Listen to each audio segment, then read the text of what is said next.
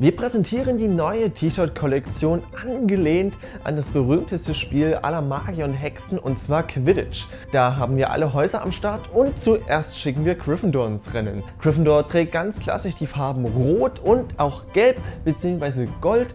Auf der Brust haben wir den Löwen im Wappen von Gryffindor und auf der rechten Seite tragen wir auch noch das Quidditch-Logo.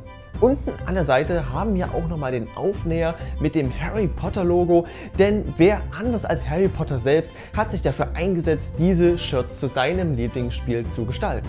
Die Hufflepuff setzen natürlich auf ihre Farben schwarz und gelb, doch statt gelb setzen sie hier das Schwarz in den Vordergrund, um noch mehr zu zeigen, wie bedrohlich sie auch im Quidditch sind.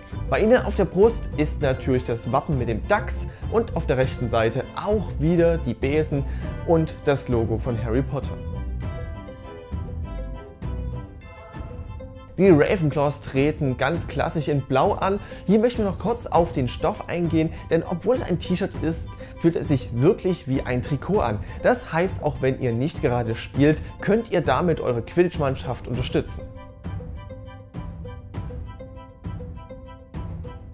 Last but not least natürlich die Slytherins, hier in ihrem Grün, Grün mit Schlange und Quidditch-Besen und auch hier dem Logo von Harry Potter. Hier im Gespräch mit dem Team-Captain von Slytherin, es gibt Gerüchte, sie hätten die anderen Mannschaften unterwandert, da sie mit ihrem Zeitumkehrer die Zeit zurückgedreht haben und so der Captain eines jeden anderen Teams zu werden, um damit ihre eigene Mannschaft nach vorn zu bringen. Was meinen Sie dazu?